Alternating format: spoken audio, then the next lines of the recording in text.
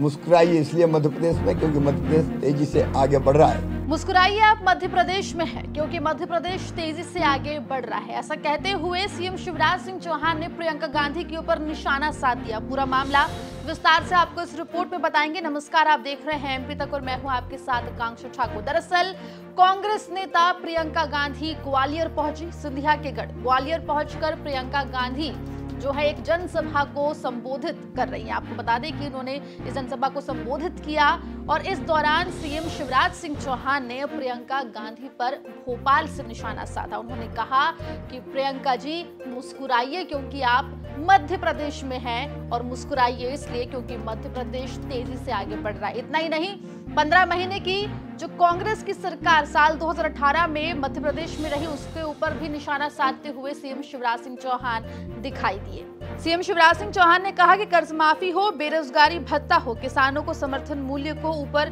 Bonus देना हो, एक भी वादा कांग्रेस ने पूरा नहीं किया। इतना ही नहीं सीएम शिवराज सिंह चौहान ने यह भी कहा कि प्रियंका जी, बेटियों की हम शादी करते थे, बेटियों की शादी तो हो गई, लेकिन उनका पैसा नहीं दिया।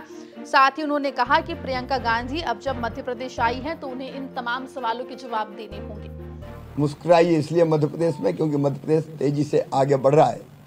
और याद कीजिए वो दिन, जब 2003 तक श्रीमान बंटा ढार जी की सरकार हुआ करती थी, ना पानी, ना बिजली, ना सड़कें, और सवा साल वो भी याद कीजिए, जब किए गए वादे निभाए नहीं गए।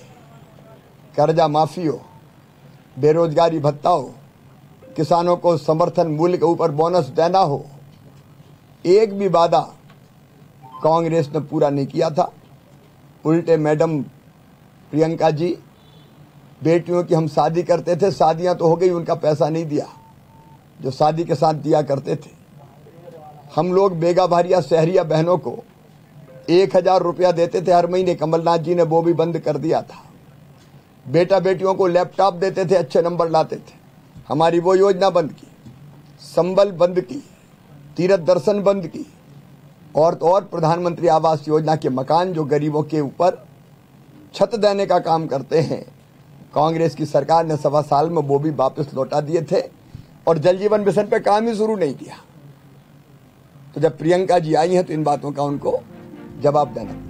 आपको बता दें कि बीजेपी ने इन तमाम सवालों के साथ पोस्टर भी जारी किए हैं। उस पर लिखा है कि मुस्कुराइए, हम मध्य प्रदेश में हैं क्योंकि मध्य प्रदेश तेज़ी से आगे बढ़ रहा है। आपको बता दें कि विधानसभा चुनाव से पहले सियासी पारा मध्य प्रदेश में गर्मा गया है। बड़े बड़े चेहरे मध्य प्रदेश आकर दौरे कर रहे हैं। प्रियंका गांधी ग्वालियर पहुँची और यहाँ पर भी पहुंचकर उन्होंने खूब एक तरफ़ जहाँ बीजेपी की सरकार के ऊपर निशाना साधा, वहीं सीएम शिवराज सिंह चौहान पंद्रह महीने की सरकार का हवाला देते हुए प्रियंका गांधी से सवाल करते हुए दिखाई दी। मध्य प्रदेश जुड़ी तमाम खबरों के लिए बने रही एमपी तक के साथ।